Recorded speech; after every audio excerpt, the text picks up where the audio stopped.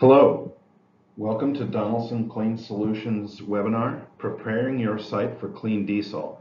Have a plan for installation, what parts do you need, and exactly how to implement it. The objectives for today's presentation include what to consider before you begin installation, how to make sure your system is functional and serviceable once it's installed, and how to put it all together. Best practices in diesel fuel are important, uh, and that's the, the goal of your, uh, your installation here. So what needs to be considered before uh, keep in mind our, our general uh, philosophy of clean your fuel and your equipment, uh, protect the fuel that you have in storage, and polish it on the way out to keep to, to purchase and keep your fuel clean. Here's an image showing filtration of fuel on delivery into a small tank farm. You can see one of the tanks in the background has a uh, breather on it for protecting fuel in that small dispensing tank. The main dispenser is the dual head with two filters in the middle there. That goes out to a high flow hose reel filling uh, excavation equipment at a small contractor. Uh, the concept is the same for an even larger system, say a, a mine site or a large heavy duty operation. You're getting fuel delivered in in high volume off of a tanker truck, uh, using that pump to push the fuel into the into the tank farm and pop, clean that fuel at that point. Uh, put breathers on the tanks, all the tanks in the farm to protect them. And then filtration on the way out as you're filling equipment or fuel, hauling trucks, that kind of thing on site. Uh, the concept is basically the same no matter how big or how small the system is to clean the fuel when you take possession of it protect it in clean storage tanks and polish it to uh, on the way out to ensure that it's clean enough for your. Uh, probably the biggest uh, issue that people may tend to skip over is to clean the tanks first before you implement a clean practice of cleaning your fuel on delivery and trying to polish it on the way out. And by a good tank cleaning, I mean a good tank cleaning to get all the stuff out. Um, this is an example of a drained fuel tank. You can see microbial contamination and sludge piling up in the bottom of this tank. You can see it was uh, several inches up the walls of the tank and, you, and, all that solids left over there. If you do a uh, sort of a limited job of stirring the stuff around and trying to clean it up, you will plug many, many filters as this stuff continues to get picked up by the, the pump and, and uh, plug filters on the outlet over and over and over. Uh, it's far better to do a thorough job, get it scrubbed down to bare metal. Uh, you can see the effects of corrosion here on the bottom of this tank wall to some degree, but most all of that material is gone. And you're starting with a relatively clean set of infrastructure before you install filtration on the inlet and the outlet. And the idea is to keep this as clean as possible to ensure fuel quality going forward and a low cost of operation So this webinar is not around you know, high tech things for the most part. It is generally on how to get from I bought some filters and some parts, manifolds, and that kind of thing. How do I get it installed and get it connected uh, and make it usable? Um, we use a couple of different styles of connections for these installations. Uh, all the manifolds come with uh, ASME or ANSI 150 pound flanges and code 61 flanges, which are a hydraulic connection. We'll get into a little bit more detail here. But you'll see this is flange connections to, to industrial piping that's welded. Uh, these are high flow installations where you're offloading off of tanker trucks, things like that, in three or four inch pipes. Um, they're well proven as uh, good connections for handling fuels and not leaking and, and having issues. Uh, here's the uh, dispenser side of the same system, and you can see it's high flow dispensing. It has manifolds with uh, uh two inch uh, ANSI 150 pound flanges. And you can see the code 61 flanges that connect to the filter heads at the in the manifold there. Uh, those are a nice, clean, neat, leak-proof connection, both the ANSI 150 pound flange and the hydraulic flanges, the code 61 flanges. Uh, in comparison to NPT, which everyone loves to plumb things in NPT because it's easy and it's common, on diesel fuel, NPT has a significant issue. It tends to leak. There is a thread tape available for doing diesel and fuel connection, piping connections with NPT thread. it's compatible with diesel fuel, but NPT threaded connections tend to leak because as temperature changes come along, uh, those threads tend to loosen up and diesel fuel is a very thin fluid and it tends to wick down the threads. You can see all the connections in this image that are NPT are wetted with fuel and you can see the hoses that are dry where there are no connections nearby. Um, it just signifies this is very, very common what an NPT thread looks like. It'll be dirty around the, the connections, even on a dispenser pump that's equipped with them uh, where you're plumbing in and out. It's likely to leak and you'll wind up with dirt uh, sticking all over that those connections, uh, showing off that that propensity to leak. It's it's common, but it does tend up tend to be a dirty uh, uh dirty uh, situation when it's connected that. Uh, the types, what makes the the flanges work. the the ANSI 150 pound flanges are a gasket between those two large faces. This is a code 61 split flange it uh, presses that O-ring you can see in the center there onto a flat surface and is a very well proven low and high pressure leak proof connection. Uh, here's another style of flange. This is what's included in the kits for uh, uh our, our, product line. It has the code 61 flange that connects to the filter heads and there's an NPT version there because people really like to plumb an NPT. And then there's an SAE version SAE is a straight thread connection with an O-ring seal. Um, it's somewhat easy to confuse with NPT, but it is a, a, another hydraulic style connection that routinely does not leak. Uh, keeps things nice and neat and, and clean. Here's an example of an SAE uh, uh, filter head plumbed in, and this is, happens to be a lube truck. Uh, but you can see the high pressure hoses there for this is for dispenser, high pressure lube dispensers. But Those are SAE connections. They look like standard hydraulic connections you've seen all over the place. They don't uh, they don't leak. Uh, it's very unusual for them to leak. Um, we have those connections on the bulk HP product line. Uh, we sell gauges and sample ports with those types of connections for nice, neat, clean installations. Um, so something with a gasket or an O-ring seal is the is the uh, ideal connection to keep things clean. Uh, here's an example of a fitting that threads into a uh, into an SAE connection. You can see that O-ring pointed out there with the arrow on the bottom. That seals into that little gland at the top of the thread, straight threads, and seals things up permanently. Uh, some additional pieces of hardware that are important for installing so you can tell what's going on in your system, whether your system your filters are plugging or not, uh, are upstream indicators on filter heads. Keep in mind in most bulk installations, the, the pressure gauge will only show you what's going on essentially on the upstream side of the filter head or filter manifold because you're pumping into a tank that's going to atmospheric conditions. You're looking for pressure building up ahead of the filter to look at what, what restriction looks like or, or pressure buildup and loading of that filter looks like. So we have a couple of different connections here. These thread into all the indicator ports on the Clean Solutions product line, single heads, dual heads, and the high pressure bulk HP heads to give you upstream indication. Uh, and occasionally you see the, the, the uh, adapter over on the far right there. That is a downstream um, indicator port connection. That's more for taking a nice clean sample downstream of the filter to ensure you have uh, proper cleanliness of a of a filter in service. Gauges are also an important thing to include to tell what's going on. You really can't see restriction unless you have a gauge there to indicate it. The types and styles available vary widely from low cost, low pressure ones to much higher pressure and, and we even sell liquid filled gauges. Um, but you need to select that gauge yourself. Generally, it's uh, not that easy for uh, for the supplier to determine what kind of pump and what kind of situation the filtration is going to be installed in. You need to understand what what your pump is doing and what type of pressure and pressure drop you're going to be looking at. Uh, generally, they're put in the upstream indication uh, application just so that you can see restriction on the filter. And pick a range that makes sense. If you supply a 600 psi gauge and you have a 30 pound pressure pump, you're never going to be able to see any uh, any indication of what's going on in that system. The range needs to be chosen based on the application for the most part.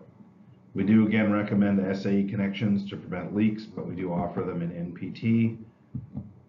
Uh, and you need to pick based on where it's going to be installed, whether it's a back mount or a bottom mount gauge, or perhaps a, a panel mount gauge where there's a connection on the back for uh, remote mounting. Uh, another thing that tends to get overlooked in installing filtration is what type of pump is pushing the fluid. Um, there's a couple of different types of pumps that are common, and the uh, the most common type for truck offloading and most dispenser pumps would be something called a positive displacement pump. You can see a graph here roughly indicating how they behave. Um, as restriction increases on the on the graph on the right, you see flow rate across the bottom and head pressure on the on the vertical axis. As pressure drop increases, that pump continues to push, so it will push fluid through the filter and not decrease in flow rate much, even as restriction increases until a bypass opens. An on uh, fuel truck pump, for instance, will have a bypass rating where it, it starts to, to bypass uh, and not push flow because you've reached a pretty high uh, pressure drop. But that it that style of pump should continue to, to deliver and and uh, get good filter life. Contrast that with the graph on the right. That is a rotodynamic pump or a centrifugal pump. Uh, that's more of a uh, high volume transfer pump in most applications, but you will see those types of pumps in certain situations. And as you can see there, if you add just a modest amount of restriction, you back way up the pump curve and you can put something no more than five or six pounds of pressure drop additional in the line downstream of that pump and you will get half the flow rate out of the pump. That can be a significant issue in uh, filter service life. Uh, the customer doesn't want flow to decrease dramatically and you will be changing filters and not getting very much life out of them with that style of pump unless a change is made. And we highly recommend switching over to a gear gear pump or a rotodynamic pump, uh, some or right, something non-rotodynamic, a vane pump or something, uh, more of a positive displacement uh, type pump, so you get better filter life and performance. Um, I mentioned earlier a little bit about restriction uh, and causing that that that pump behavior backing up on the curve. I'd like to cover that a little bit here. Uh, at the center at the top, you can see a single head uh, and a filter. The flow path flow comes in, it goes through the filter media, and it goes out. Uh, to the to at the upper right there, you see uh, how our dual heads are plumbed. That can be confusing. People don't quite understand how the flow goes through those filters. Flow comes in, splits, 50% of it goes through one filter, 50% of it goes through the other filter. It comes, joins back together and leaves the head. Um, here's more of a visual representation of one of those dual heads. Flow comes in, as you can see on the left there, goes through the filter media, goes back up and to, into the filter head, joins back together, and then leaves the filter head. So when we have a manifold of multiple filters, be it the four filter manifold, an eight or a 10 filter manifold, even the 12 does the same thing. The flow comes in, splits, goes equally into all the filters, and then joins back together on the other side. What's important to note there is that's how you decrease pressure drop. Decreasing the flow rate per filter is how you decrease pressure drop and increase loading in one of these situations. You can see on the filter curve graph there, there's a, a curve at the bottom it's labeled as 3 centistokes or diesel fuel. Diesel is a very thin fluid even through a high efficiency filter like this, it has very low pressure drop because it's very thin. But to get capacity, we split that flow into multiple filters where you're flowing several hundred gallons per minute.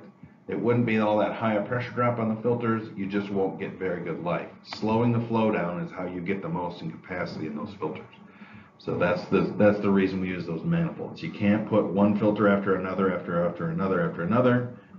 You will just stack up pressure drop, you need to spread the flow out across the filters and bring it back together clean. Here's some, uh, just a, the range of filters we use for these kinds of installations. We typically start with the uh, fuel filter, the DBB 8666 as the standard. Uh, it's nice high capacity uh, and it can handle a lot of flow rate. Um, we do have a, a couple of filters there, the ones with the snowflakes over them for winter applications.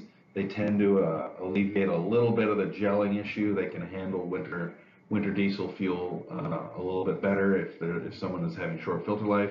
And as you notice, we make those compact uh, filters there, both in the winter and the summer fuel, the DBB uh, 5333 filter there. That's a uh, a short version of the, the the normal fuel filter, and that's for small dispensers on pickup beds and that kind of thing.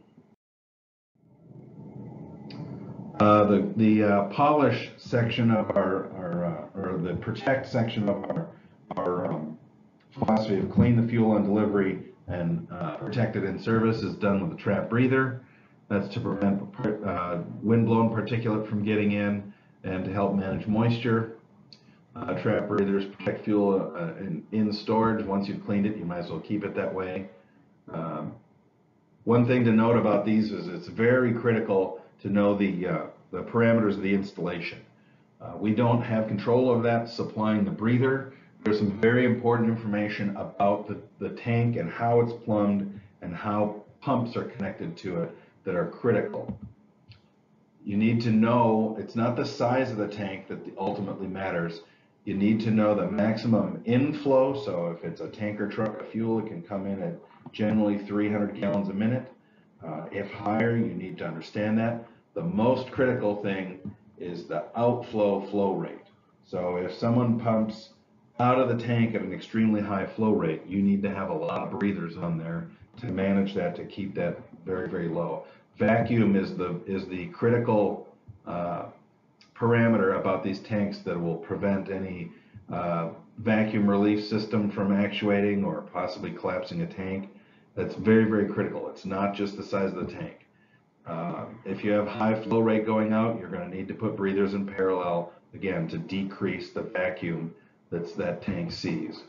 There's a tank engineering data plate on every tank that says it can handle this much pressure and this much vacuum in normal service, and you need to size the, the uh, application to stay under that. Uh, there's a, on the literature, there's a specifically a chart there that says what flow rate out of the filter creates what, what vacuum. And we've uh, added a remote mount uh, so you can have the breather mounted on top of the tank and you can actually put the, the indicator down near the ground to see what the maximum restriction your breather has been seeing. Uh, so you're changing it long before it builds any significant restriction that could uh, endanger a tank. So uh, make sure you know what you're doing when you're installing a trap breather on a tank. Uh, additionally, for, for more robust uh, water management to prevent condensation from the inside of the tank from ever occurring, is something we can do it's, uh, by drying the headspace of the reservoir using our uh, reservoir air dryer. Uh, it's a small continuous flow dry air producing device. You hook compressed air up to it and connect it to the headspace of the tank. It provides dry air to purge the headspace of the tank, preventing condensation, and simply flows out the breather continuously, keeping the headspace dry, the breather completely dry, and stops uh, condensation water from occurring and, and, collecting the bottom of the tank. Uh, it's just a, a, small low flow, uh, half a CFM of, of uh, air flowing out of it continuously over the tank. You can stop thousands of gallons from condensing in large tanks with, a, with an application like this uh, over time. It's a very effective means of managing that. It's not available at most fuel tanks. Uh, but it is available for virtually all uh, lube tanks because they use air-operated pumps to uh, to move lubricants to hose reels and things like that. So you can apply it where you can. There's usually a little bit of a discussion on how to how to set it up if you do one of these, but uh, it's a pretty straightforward solution. Uh, finally, on implementation uh, for planning and where you're going to put things, uh, how you get things put in there and service them, and some concerns with getting uh, stuff installed in, a, in someone else's tank. Um, filtration, uh, location, and local codes. It's important on a, a, bulk fuel site. There's usually a containment wall of some sort around the place. It may be a double-walled tank, which has its own self-containment generally. Um, but there are local codes that you need to consider a lot of times You'll want to install that filtration where it's still within the containment, uh, types of plumbing, that kind of thing, maybe codes on the, on the people doing the install. Um, usually the smaller stuff, little kits and things like that can be done on your own and depending upon the ability of the, the customer or if they do their own piping on site or something, you may end up as, asking an end customer, um, if they're using a, a piping engineering firm or a piping contractor to do major plumbing on a large tank farm. Um, the little kits, you can typically install those yourself. It's some NPT threads there, as you can see, and uh, and just fit it however it needs to be, depending upon how the pump is installed on a tank. Um, even the higher flow kit stuff with just a dual head system or two heads of particulate and a water removal head, pretty straightforward NPT threads. Here you see that that kit comes with the code 61 flanges for that style of head. Uh, but when you get into a large project here with 10 10 filter manifolds installed uh, uh, with five in service and five in standby, that's an engineering project and you're going to be working with a piping contractor somewhere. This is happens to be at a fuel terminal, but uh, it's a pretty extreme amount of piping plumbing. But plumbing supports access for serv serviceability, drainability, where you can get at the filters and drain from a low point to remove or, or save any fuel. Uh, when you're doing filter changeout, that's important. We don't see when people install uh, uh, filtration manifolds down underneath a tank or something. Here you can see a double wall containment, 10,000 gallon storage tank, very common here. The truck hooked up there to the connection where they have the collection box for any drip. Um, just plumbs to the manifold. There's a drip tray there and room to get at that and collect that fluid uh, if you when you do have to change filters, and then it just goes back up to the normal connection into the tank. It's a nice, neat installation. The the stand there was built by the people that did the plumbing install. Pretty straightforward stuff. Um, here's a couple of manifolds, a particulate removal manifold followed by a water removal manifold. It's a little hard to see in the angle of this camera, but it's it's it's hanging over the containment area there for uh, for installation inside the wall there in case there's any uh, leakage when filters are changed or anything. It's also up where you can get the filters underneath and get at it and uh, room to put a drip tray or something in there for for um, collection of, of, of fluid. Um, here's a, an inline 12 manifold set up in a situation where there's a drain port at the bottom that can be used. Uh, so you can drain that thing down when it's when it's shut off at the valve over there. Uh, here's another with uh, in a horizontal position. You can drain most of the manifold out of the, the port connections there, but you can also take a filter off the bottom and drain that way. So uh, it just depends on the site. This is always, almost always installing the stuff after plumbing has been built, so it's never the same twice. Uh, here's a set of manifolds uh, in a lubricant application, but this, these replaced a couple of large pots and tanks. Uh, so the, the, main plumbing was already there, but this was set up to be able to drain all but just a gallon or so of fluid that re remains in the filters after it's drained down. They can save 75 gallons of fluid they used to have to waste.